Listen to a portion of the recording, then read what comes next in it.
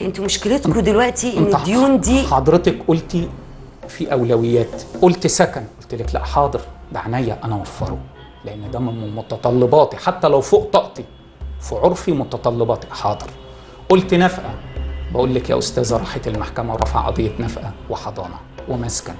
يا أستاذة إسراء عايزة تاخدي نفقتك ولا عايزة تستني حكم المحكمة بالنفقة؟ ده اختيارك وإحنا اختيارك يحترم. طلع قرار من المحكمة هندفع قرار المحكمة.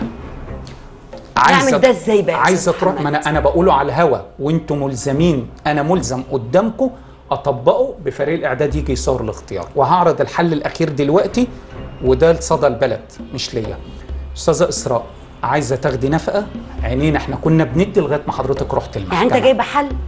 ده أنا بقول لحضرتك مش حلول بقول لحضرتك وقائع انت الضامن ليها كقناة استضفتينا. يعني أنت هتدفع؟ أنت مش ممانع؟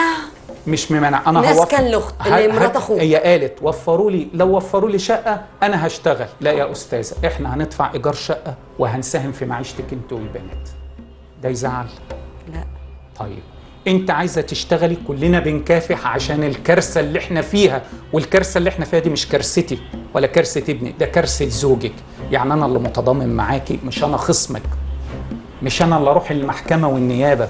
مش اللي انت اللي تودي راجل قد أبوك 70 سنة توقفيه قدام قاضي مرة توقفيه قدام المباحث مرة تدخليه النيابة مرة توقفيه قدام المحكمة مرة. الراجل صحيا بيموت بيتحسر على ابنه وانت بتذبحيه بسكينه تلمة.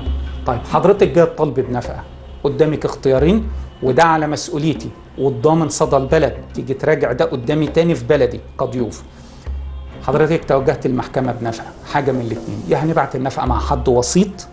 وهتستلميها بعنده بمحضر بإيصال عشان ما تجيش تنكري اللي إحنا بندفع.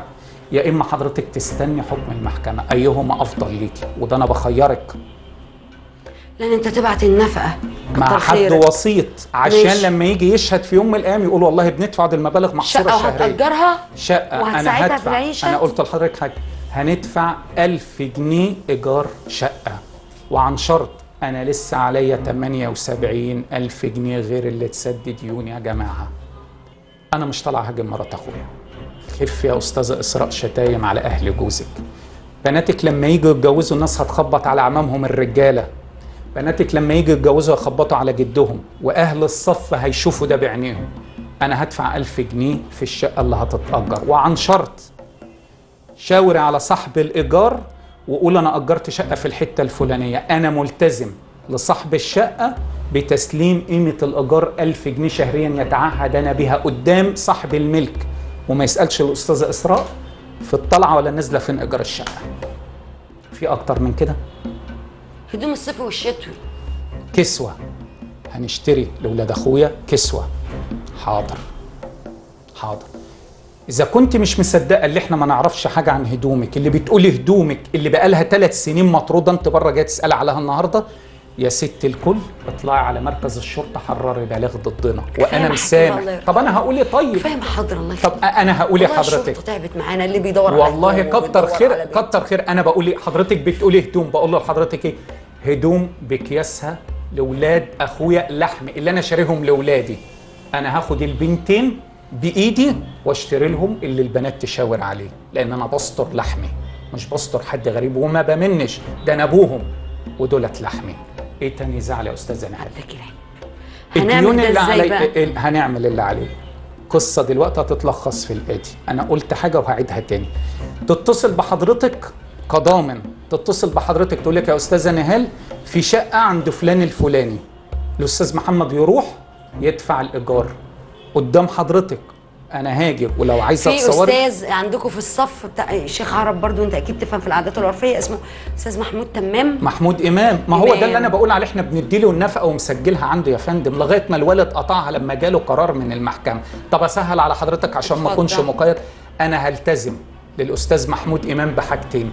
بنفقة الأطفال طبقا لمقدرة الوالد وإيجار شهري ثابت 750 ل 850 جنيه.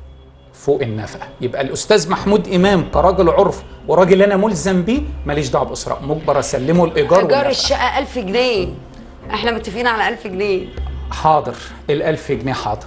ده ده يزعل ده حضرتك. مسامح. لا طب طيب. إيه أنا مسامح لا. لاولادي مش مسامح لا دولت بناتي. طيب وريني بقى أنت جايب عقد عرفي. جلسة عرفي. عرفية. لا يا فندم، هي. قالت- قالت- جايب عقد قالت- جلسة عرفية. قالت قالت حاجة. قالت الأستاذ محمد إحنا رحنا عند الأستاذ محمود إمام آه. وما رضيش يقعد. الأستاذ محمود إمام ده جار لينا وجار للوالد من 50 سنة تربطه بيه صداقه وجيرة طيبة وراجل من خيرة الناس في البلد وراجل إحنا نحسبه على خير ونحترمه. فأنا ببادر بالمبادرة اللي بتقول كده بأكد عكس كلامها. أستاذة إسراء أنا همضي على مشارطة التحكيم وهختار الحاج محمود وهسلمها لصدى البلد. ولو الحاج محمود عايز يجي يستلمها من صدى البلد على عينه وعلى الرأس وابعتوا حد من عندكم ده. لو أنت ليكي حق زي ما بتقولوا رافضين نقعد نحل بالود اللي هو الشقة والإيجار. عايزة تقعدي في قاعدة عرفية ابعتي راجل من عندكم يمضي على مشارطه التحكيم وأنا همضي عليها حالا على الهوا وهسلمها لحضرتك. ابعتوها عن طريق فريق الإعداد للحاج محمود إمام. قلت الحلول التاني بتاع الشقة ما هي جاية تشتكي عشان الشقة؟ لا أنا الشقة ما تشتكيش. أنا جايبها لبناتي. مش هعاملك بقى بمعاملتك أنا هعاملك بتربيتي. أنا جايب الشقة لبناتي ألمهم فيها. جايب الهدمة والكسوة لبناتي الاثنين استر بناتي لأن ده عم. واب أنا عندي ولدين همشيهم بالمقطع عادي إنما ما مشيش البنت كده مش مستورة. تمام؟ أستاذة إسراء أنا هستحملك عشان أنت مرات أخويا ففرض عين عليا وده قدري. هقبله بشره وبحلوة. المشارطة اللي أنت كنت عايزاها وبتقول إحنا رافضينها لا أنا مش رافض. والحل أهو على الهوا وأنا هوقع عليها والحل الودي اللي أنا قلته لحضرتك ده دين في رقبتي أنا ملتزم بيه. حاضر. بس في مقابل حاجة واحدة مش مقابل تنفيذ أو حاجة. اتقوا الله في والدك اللي عنده 70 سنة اللي دايرة تتبلى عليه في كل بيت. اتقي الله انت ووالدتك. والدها راجل طيب وغلبان ومحترم. عايزة النار دي تخمد أنا ما فيش نار ومجرد. ما انت تراعي ولاد أخوك ومجرد ما انت تودهم محدش هيقدر يعيب فيك وفي أي حاجة. كويس. أسأل بقى حضرتك سؤال صغير. على المستوى الشخصي هل لما نعمل كده الأستاذة إسراء هتبطل شكاوى وشتايم وأهانة لينا ولوالدي؟ هتعمل إيه تاني بقى؟ خلاص ما بناتها أنا بس طمنت يا عليها فندم يا فندم أنا قلت لحضرتك أيوه هي كلامها في معايا يا أستاذ محمد على إن طيب. هي شيلة تقيلة عليها قوي. فأنت الشيله لا ساعدتها. الشيلة تقيلة. اللي أنا قلته ده تأثير مني ولا أنا عملت ساعدتها قدر. المستطاع؟ تمام أنا ساعدتها. هل ده هيمنعها اللي تروح تتنازل عن المحاضر اللي عاملاها فيا وفي الوالد أنا بسأل حضرتك بقى دي التنازل ده بقى كفاية محاضر. ليا ولا ليها؟ لأي الطرفين عشان بنات أنا ما. قدمتش من ثلاث سنين محضر واحد لغاية اللحظة لما اللي أنا قاعد فيها. جوزها يخرج يبقى تشوف أنا بقول. لحضرتك كلمتين. أنا ما قدمتش محضر واحد من الثلاث سنين من ساعة ما جوزها اتحبس لغاية اليوم اللي أنا لغاية الدقيقة اللي قاعد فيها عند حضرتك. المحاضر والقواضي اللي هي رفعها علينا دلوقتي على المستوى الشخصي. هل لما إحنا نعمل كده تروح تتنازل عنها؟ ما أعتقدش بس إحنا برضو هنعمل كده شوف أنا بقول لحضرتك إيه اللي هي حضرتك هتفضل من محاضر الإتلاف محاضر محاضر التعدي هي عاملة؟ فيا عاملة أنا فيا محضر محضر الاستيلاء على منقولاتها مع إن أنا مش جوزها ولا ماضلها على قايمة بس مش مشكلة عاملة فيها محضر في اسم الشرطة خلاص كانت واخدة بيه محضو تمكين لا يا فندم ده محضر تاني مالناش دعوة بالتمكين ده التمكين خلص خلص. بموجب حكم المحكمة عملت النهائي. تاني؟ عملت فيا أنا محضر استيلاء على منقولات الزوجية. منقولات الزوجية آه. بتتهمني أنا بالاستيلاء على منقولات الزوجية ورغم ذلك إحنا مش هتتنازل عن المحاضر برضو ده مش هيخلينا نأثر في واجبنا حاجة هتفضل تسيء لنا على مواقع التواصل الاجتماعي لأنها بتقول للناس كلمتين وأنا برضو مش هقول لك بقى يعني مش هنتكلم والله. خلاص. خلاص أنا مش. هاجي جنب الورق يا أستاذة إسراء مهما تسيء لينا إحنا مش هنسيء لبلدنا وليك راجل لما يخرج من حبسه وشدته بإذن الله هنحاسبه على كل الإهانات اللي غلطيها في والده اللي هو رب الأسرة وكبير العيلة. اللي اهنتي عيب عيب عيب عيب. شكراً. أنا هاخد بناتك أجيب لهم هدوم وتبعتي لي البنات عند الحاج محمود إمام منع القيل والقال والاشتباك. وهنتقعد مع الوالد حاجة من الاثنين اطلبي من الحاج محمود إمام. دول. بقول. لحضرتك ولادي بنا بناتي. بقول لحضرتك بناتي مش بنات أخويا سعادتك. عارفة يعني إيه بناتي؟ يعني أنا أتعرى وبناتي لأ. الله يبارك بقول لحضرتك تروحي عند الأستاذ محمود إمام من بكرة تقولي له عايزة النفقة تاخديها نقدي في إيدك؟ هنسلمها للحاج محمود إمام بضمان اللي ادينا أتصال منك بالاستلام عشان ما تنكريش. مش عايزة وهتستني حكم المحكمة تحت أمرك. عايزة دي ماشي عايزة دي ماشي. موضوع الشقة هنسيب كل أول شهر مع الحاج محمود إمام. ساعة ما أنت تتفقي معاه هنسيب لك ألف جنيه إيجار الشقة. تأجري وتقعدي أنت حرة. تاخديهم على نفقتك وتقعدي في بيت أهلك أنت حرة. ده كده يعيبنا يا استاذه نهال كتر ألف خيرك. إحنا تحت أمرك عايزة أقول. لكم إن يمكن سبحان الله العلي العظيم بتجيلنا مشاكل كبيرة جدا. وبنبذل فيها مجهود لأن إحنا مخلصين النوايا. عشان تخلص خلاص يا إسراء. عشان تكملي مشوارك. مشوارك مش هيقف هنا. لا. مشوارك هيقف لسه اما البنات تكبر. مشوارك هيقف لسه لما يجي حد يخبط على بابك وتفرحي بيهم. فشكرا إنك نورتني. العفو يا فندم. شكرا مش هقول لك بقى ولاد أخوك أمانة بقى وبناتي. تقول لحضرتك المقولة بناتي مش هتوصينا على بناتي. أمهم. ما هي ل... هي يا أستاذ محمد. هي هي أنا بقول لحضرتك أنا طمعانة فيك وطمعانة في أصلك وطمعانة في أصل الست بتاعتك. وطمعانه في أهل بيتك. دي ست يمكن صحيت من النوم لقيت نفسها في مصيبة. حدوا المصيبه بس؟ والله يسهل لكل واحد فيكم بعد كده. أنا التزمت بالتزام على الهوا. هل أنا كده قصرت لا ما قصرتش. ديون أخويا اللي ليه دين عند أخويا وبقوله على الهوا يجي يطالبني بيه. هل أنا قصرت. كده مدام نهال. هل أنا حملتها عبء؟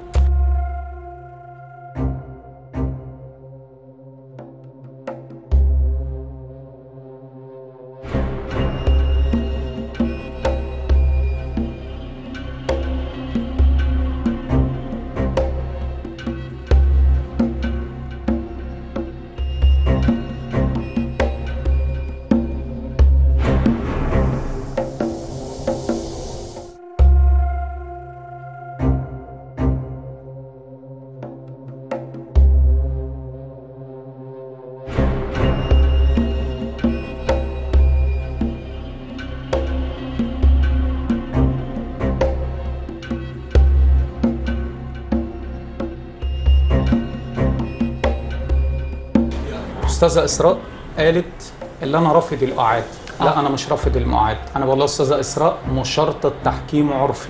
هسيبها لك عند الأستاذ محمود إمام هيبقى برعايته. ابعتي والدك يمضي ويتعهد بتحديد جلسة عرفية. جلسة عرفية.